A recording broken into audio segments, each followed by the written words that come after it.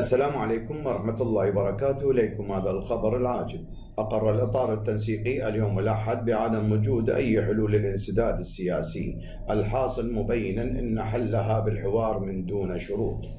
وقال النائب عن الإطار محمد الصيود في حديث إن إيجاد حلول لحالة الانسداد السياسي في العراق والذي تشهده العملية السياسية منذ أشهر طويلة يكون من خلال العودة إلى طاولة الحوار والتفاهم بين جميع الكتل دون أي شروط مسبقة. وأضاف أنه لا يمكن إيجاد أي حلول للخروج من الانسداد السياسي دون جلوس جميع الكتل والأحزاب على طاولة الحوار والتفاوض وتقديم التنازلات من أجل مصلحة العراق العليا وبخلاف ذلك الأزمة سوف تبقى وتتفاقم مع مرور الوقت.